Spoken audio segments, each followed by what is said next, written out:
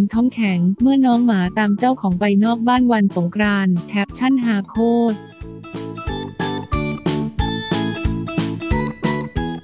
สวัสดีค่ะ เรื่องเล่าข่าวข้น วันนี้มีเรื่องราวข่าวสังคมโซเชียลมาให้ชมกันค่ะ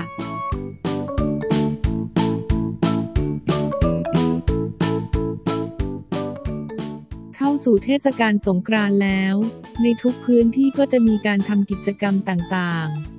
ทั้งการตักบาตรทำบุญ ก่อเจดีทราย รวมไปถึงการเล่นสาดน้ำ เรียกได้ว่าถ้าใครไม่อยากจะเปียกก็อย่าออกจากบ้านเลยดีกว่า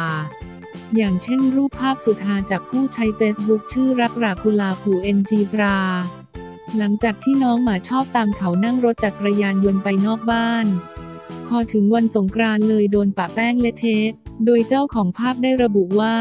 กูบอกมึงแล้ว ว่าวันนี้อย่าตามกูมาวันหนึ่ง ชาวเน็ตฮาลั่นปัดเจ้าของก็พอจะเข้าใจ แต่ใครกันช่างปะน้องหมา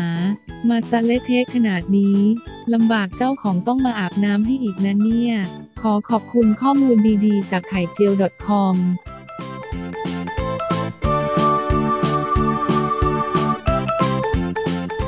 ดูจบแล้วรู้สึกอย่างไรบ้างคอมเมนต์ใต้ล่างคลิปนี้ได้เลยค่ะ และอย่าลืมกดติดตามพร้อมทั้งกดรูปกระดิ่งเพื่อรับเรื่องราวใหม่ๆก่อนใครนะคะ พบกันใหม่อีกทีในคลิปหน้า รักทุกคนค่ะ